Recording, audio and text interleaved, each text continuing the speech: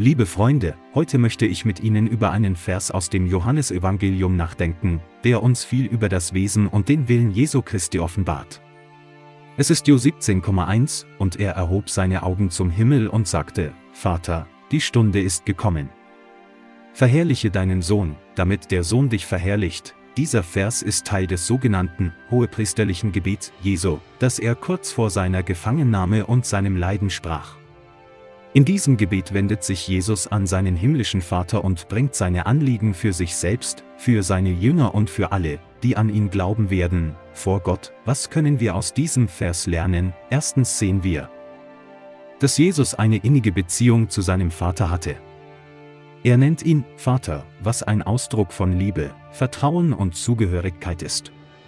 Er blickt zum Himmel auf, was zeigt, dass er sich seiner Herkunft und seiner Bestimmung bewusst ist.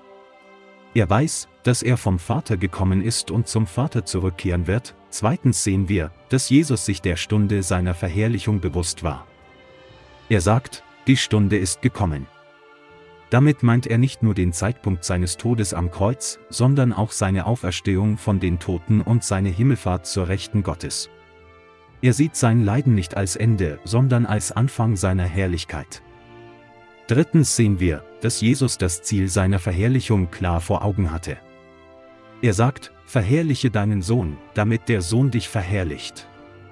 Damit zeigt er uns, dass sein ganzes Leben und Sterben darauf ausgerichtet war, den Vater zu ehren und zu offenbaren. Er wollte nicht seine eigene Ehre suchen, sondern die Ehre dessen, der ihn gesandt hatte, liebe Freunde, was bedeutet das für uns? Es bedeutet, dass wir Jesus Christus als unseren Herrn und Erlöser anerkennen und ihm nachfolgen sollen. Er hat uns durch sein Blut von unseren Sünden gereinigt und uns zu Kindern Gottes gemacht. Er hat uns den Weg zum Vater gezeigt und uns den Heiligen Geist geschenkt. Es bedeutet auch, dass wir wie Jesus eine enge Beziehung zu unserem himmlischen Vater pflegen sollen.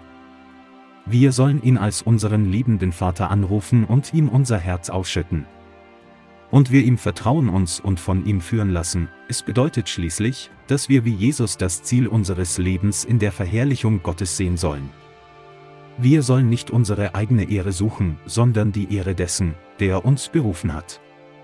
Wir sollen nicht unseren eigenen Willen tun, sondern den Willen dessen, der uns liebt. Liebe Freunde, möge Gott uns helfen, diese Wahrheiten zu erfassen und zu leben. Möge er uns durch seinen Sohn Jesus Christus segnen und verherrlichen. Amém.